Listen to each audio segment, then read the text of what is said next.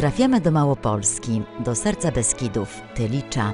To malowniczo położona miejscowość turystyczna, usytuowana nieopodal Krynicy Zdrój, na granicy Beskidu Sądeckiego i Beskidu Niskiego, w niewielkiej kotlinie u zbiegu potoków Mochnaczki i Muszynki.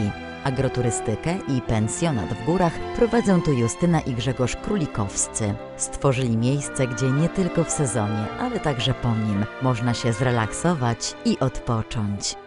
Skąd pomysł na to, żeby stworzyć to miejsce? Zaczęło się to 20 lat temu. Yy, Razem z tatą budowaliśmy taki dom jednorodzinny yy, dla siebie, że tak powiem. Yy, Natomiast obserwując, że w regionie tym nie ma przemysłu, zanika rolnictwo, zaczynała rozwijać się turystyka w niewielkim stopniu. I, I właśnie zrodził się u mnie również pomysł, żeby właśnie pójść w tym kierunku. Jak rozwijało się to miejsce? No na początku były warunki bardzo, bardzo takie spartańskie. Przyjmowaliśmy grupy, oni przyjeżdżali z własną, z własną kuchnią, z własnymi e, kucharkami. Były to właśnie zielone szkoły, harcerze.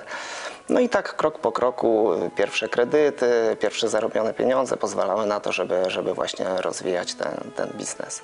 Jak to z tymi turystami jest? Bo z jednej strony chcą sielskości, chcą bliskości natury, a z drugiej strony chcą bardzo komfortowych warunków, produktów regionalnych, lokalnych. Dzisiaj y, oprócz sielskości, natury, gdzie ona jest bardzo istotna i ważna, no każdy z nas lubi odpoczywać y, w dobrych warunkach, dlatego to musi być wyważone i musi iść w parze.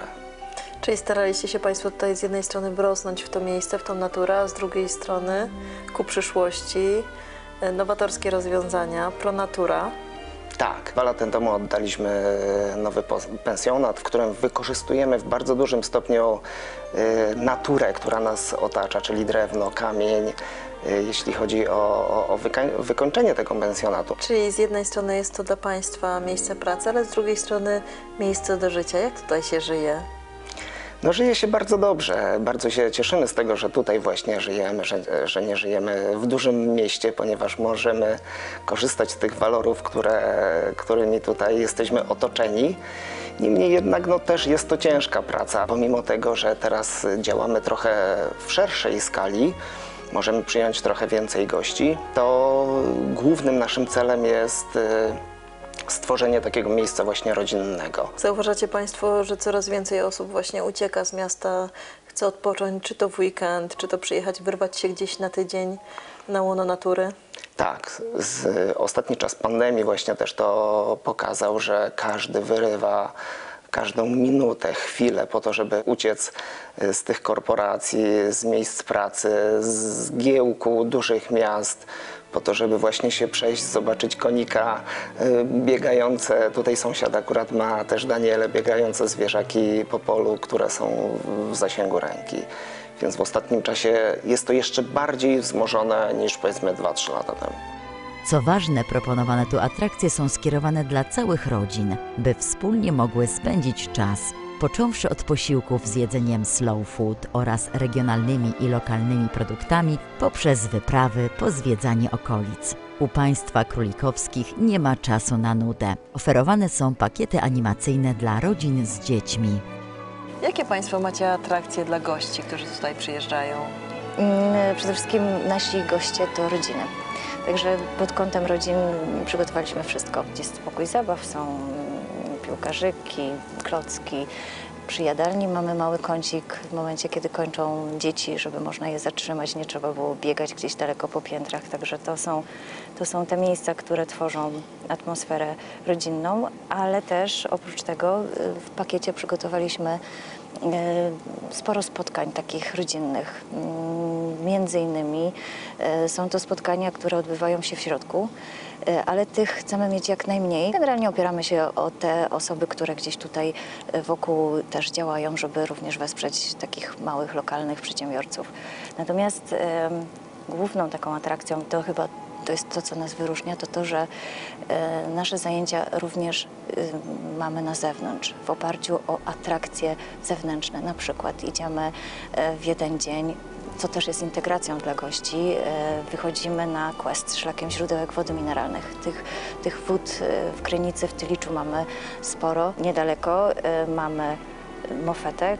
To jest takie zjawisko przyrodnicze, które nie występuje w wielu miejscach, a u nas akurat jest e, największą mofetą, więc oprócz tego, że spacerujemy na zewnątrz, wdychamy świeże powietrze, podziwiamy widoki, no to poznajemy te regionalne nasze cenne perełki. E, Kolejnym takim e, spotkaniem, które też sobie goście cenią, jest właśnie to, że wychodzimy do cerkwi wieczorem i tam oprócz tego, że pani przewodnik opowiada w paru zdaniach o cerkwi, o historii Łemków, którzy tutaj w dawnych czasach, nie takich dawnych, ale mieszkali jeszcze nawet nadal są.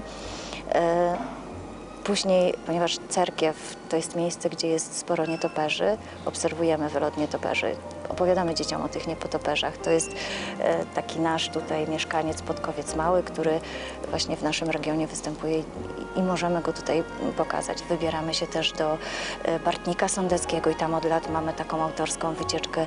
E, Opowiadamy dzieciom o pszczołach, o tym jak, się, jak one produkują miód, jakie są pożyteczne.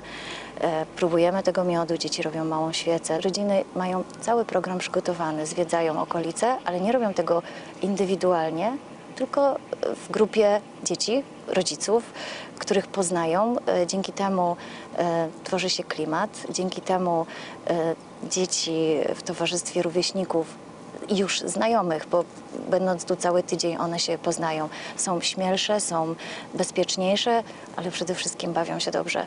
A rodzice przy okazji też mogą odpocząć i to jest chyba to, co, co nas wyróżnia. To jest to, co e, tworzy tą naszą atmosferę.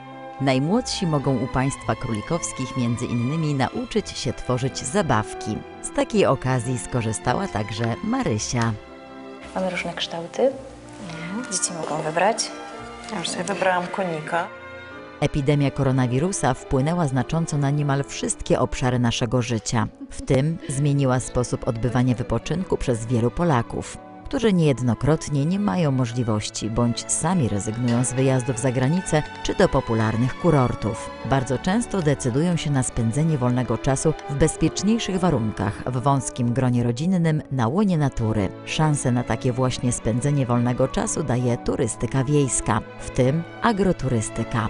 Warto przy tym pamiętać o możliwościach, jakie daje Polski Bon Turystyczny, który powstał właśnie po to, by wesprzeć w czasach pandemii rodzimy przemysł turystyczny, także na polskiej wsi. Ci, którzy chcą zrealizować bon, mają do wyboru kilkaset kwater agroturystycznych.